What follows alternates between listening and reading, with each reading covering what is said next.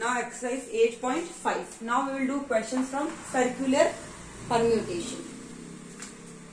I will do questions from circular permutation exercise 8.5. First question.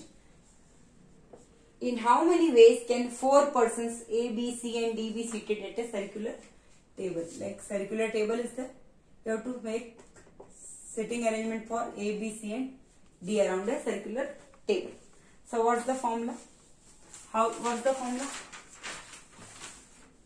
The number of ways of arranging the number of ways of arranging n objects around a round table is factorial of n minus 1. So how many are there? A 4. So factorial 4 minus 1 factorial 3. So answer is 3 into 2 into 1. 6 ways. How many ways? 6 ways are there. Is it clear? Okay. Thank you.